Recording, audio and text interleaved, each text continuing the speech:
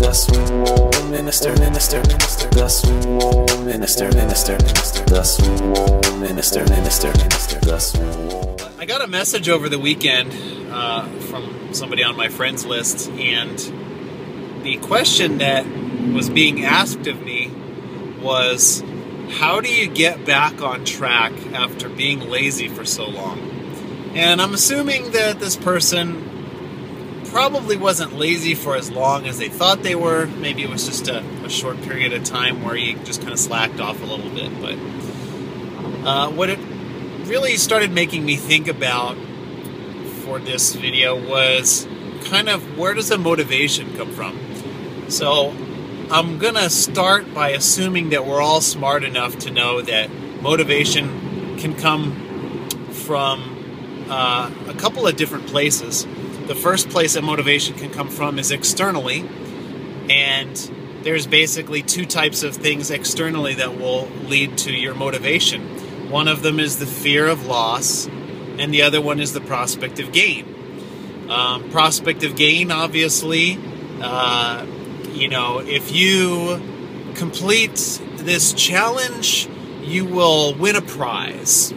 Okay? Most uh, common prospect of gain, you know. You go on a game show, and if you win uh, the game, you get XYZ prizes or, you know, whatever amount of money. So that's motivation. That's the external motivation prospect of gain. Uh, something that's more, that I believe is stronger than that, is the fear of loss. The fear of loss is if you don't do X, you're going to lose Y.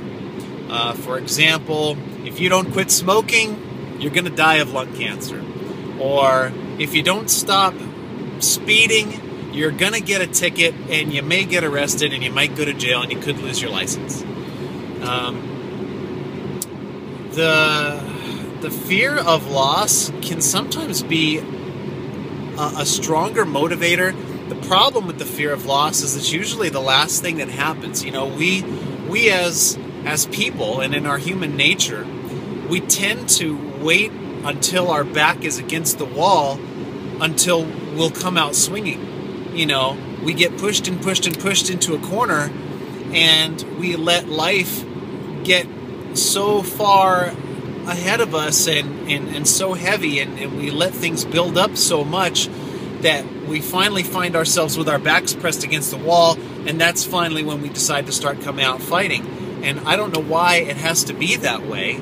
Um, why do we have to let it get so far before we you know we'll stand up on our own two feet and say enough is enough?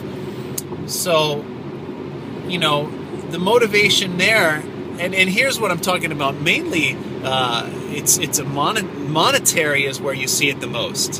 Where you know if you don't do x you're going to lose y in dollar amount. So if you don't file your taxes you're going to end up owing a big fine or a penalty that's pretty good motivation for people to get their taxes done on time so whereas if you told somebody hey if you do your taxes by uh, March 1st, you'll qualify for an extra $100 or $200 bonus on your taxes.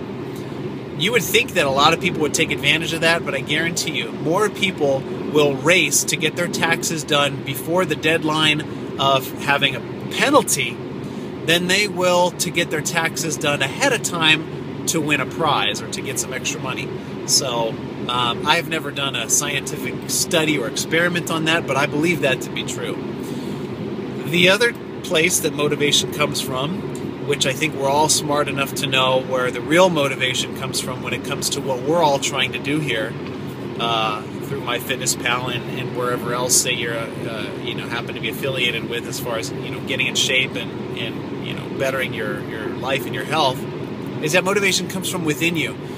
And, you know, it's kind of like smoking. You know, if somebody tells me to smoke or to stop smoking, and I I internally don't want to stop smoking, then the motivation from this person telling me that is probably not going to make me stop smoking. However, if I decide for me and I decide internally and I want it and I say I, I, I I'm done with this and I don't want to smoke cigarettes anymore, that's when the, the real change and, and the real chance for you to stop smoking will actually happen. Um, I smoked for 10 years. Uh, you know, I started smoking at 17 and didn't quit until, you know, I was 27 years old.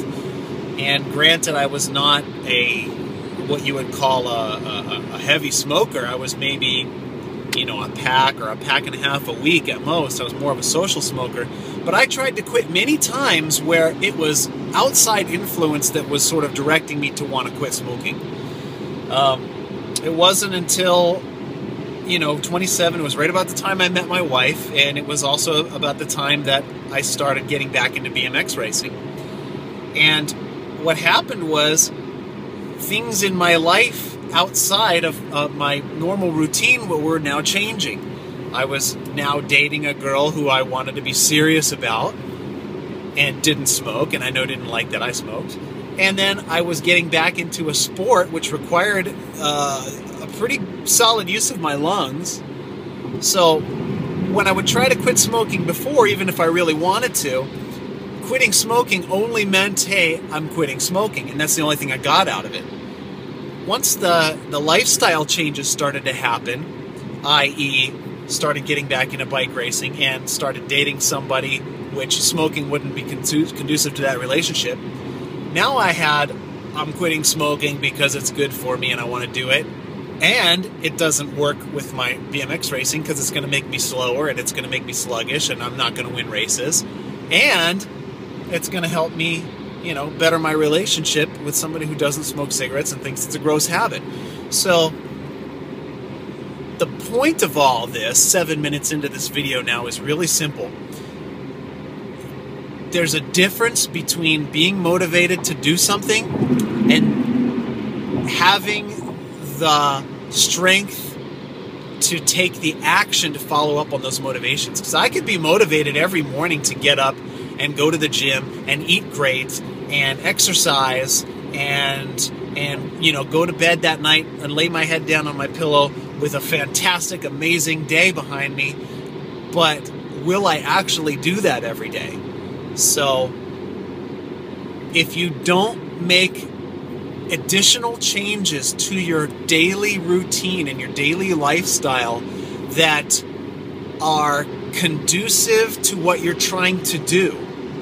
And a perfect example of that is hey, join a fitness club or uh, join a sports team or join something, do something, uh, get a hobby that has you going outside, or join a cooking class or a cooking club, or you know something different than what your normal day looks like. If if you're motivated to eat better and exercise more, but your day from 7 a.m. in the morning until 10 o'clock at night continues to look exactly the same with the same type of activities as it did before you decided to make these changes, it's just going to be very difficult to make them happen. The motivation will be there, but without changing and adding in some external influences that are going to help you and and produce more of that drive and produce more of that I'm I'm I'm going to take action to do this because this part of my life now depends on it, and this part of my life depends on it, and this part of my life now depends on it. Those are really, really, really going to help. So it's the same thing with when I was quitting smoking. It was so much easier to do and easier to take action when I had a lot of external things happening that were helping me do that. So um, that's what I would say for somebody that's having problems with motivation You've got to make sure that you're altering some of the things in your life from 7 a.m. in the morning till 10 o'clock at night that go along with your plan so that it's not just eating better and exercising, but how does your day to day routine incorporate those things and, and round out your life as a whole? So, all right, guys, wow, 10 minute video. I'm so sorry to keep you here this long, but I hope that you got something out of this. Um, who knows, maybe it's complete hogwash. I don't know. But that's just one man's thought on it. Anyway, have a fantastic week. Love all you guys. Thanks for all your support. And I will chat with you later.